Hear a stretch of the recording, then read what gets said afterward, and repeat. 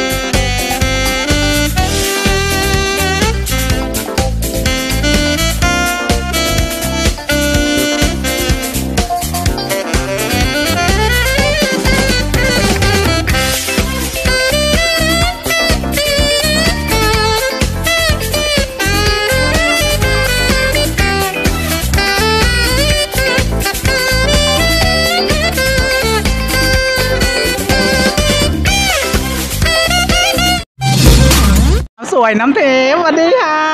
เอาวันนี้ต้องบอกว่าเป็นการเปิดตัวมิสแกรนกรุงเทพสาวสวยนะฮะอะกล่าวถึงน้องๆก่อน ค่ะก็ก่อนอื่นเลยนะคะ ก็อยากบอกอยากฝากบอกน้องๆทุกคนนะคะ ให้สู้ๆนะคะ แล้วก็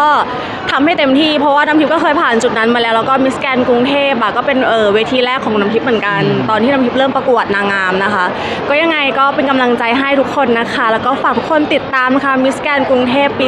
2023 แล้วก็อย่าลืมดูไลฟ์สดวันนี้ด้วยนะคะได้เลยสนุกแน่ๆนอนเนาะอะอะสำหรับน้ำทิพย์ค่ะอะหนึ่งปีผ่านไปสำหรับการประกวดมิสแกรนด์เป็นยังไงบ้างค่ะ feedback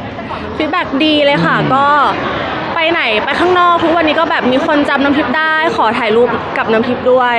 เลิศใช่ ก็รู้สึกแบบดีใจมากที่มาประกวดค่ะ ได้เลยอะตอนนี้มันมีประเด็นในเรื่องของจ้ะ นางงามกับอ่าคนที่แต่งงานแล้วก็มาประกวดในความคิดเห็นของเราเป็นยังไงบ้าง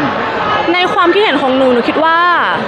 ก็นางงามที่แต่งงานแล้วก็สามารถที่จะกลับมาประกวดได้นะคะ เพราะว่าบางคนเนี่ยเขาอาจจะมีฝันแล้วแล้วเขาก็อาจจะหยุดฝันตรงนั้นไปก่อน เพราะว่าเขามีครอบครัวเนาะแต่ว่า